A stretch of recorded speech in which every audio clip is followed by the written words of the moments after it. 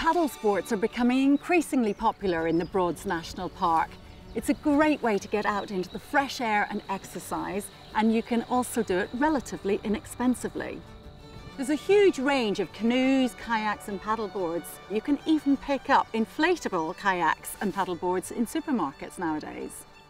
Great way to start is to hire for one of the many hire specialists dotted all over the Broads National Park. Here at Hipperson's, they have kayaks and the more traditional larger Canadian canoes, which are great for couples or for families with young children who want to go off and explore in a quiet way.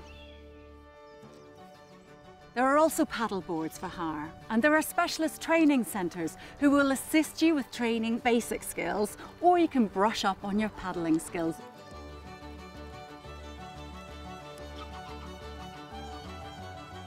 The Broads is home to over a quarter of the UK's rarest wildlife and it's so much easier to spot things like otters and kingfishers when you're in a boat without an engine.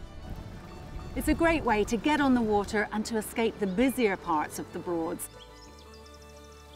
So Steve, what are the main safety points we need to consider when we're canoeing?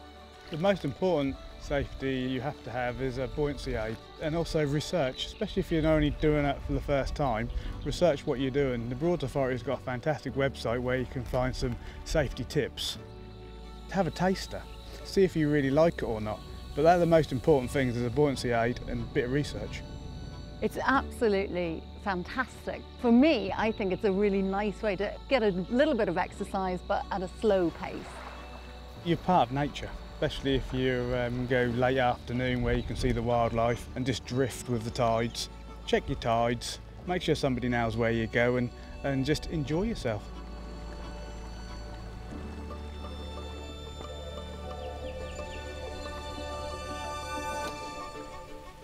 So Nick, you go canoeing a lot on the Broads. What's the best part about it? Really being back to nature and being part of the environment. Today we just saw a kingfisher sitting by the side of the river. It was absolutely beautiful. The kingfishers are special, always, but it's lovely to see some of the small stuff. The dragonflies in the summer, which will sometimes land on your, on your canoe. When the water's really clear, it's nice to look down and see the fish. And there's a lot of fish down there yeah. when the water's just right. And have you got any special places to go? I would suggest the upstream bits of the rivers if you're canoeing away from where all the motorboats are, you'll get a much greater chance of seeing wildlife. So this is a great spot. Uh, the, the Lock stretch is fabulous. It's really quiet. Quieter the river is, the more chance of seeing wildlife, the more chance of really getting away from it all as well. Oh, it's been absolutely super. I love coming here and we've had an incredible day. The sun has shone, we've seen a kingfisher and it's been absolutely beautiful. So I can't wait to come back for another time.